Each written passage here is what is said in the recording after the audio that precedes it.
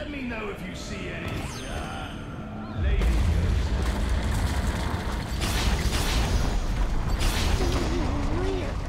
Who you're dealing with? Welcome to the Howling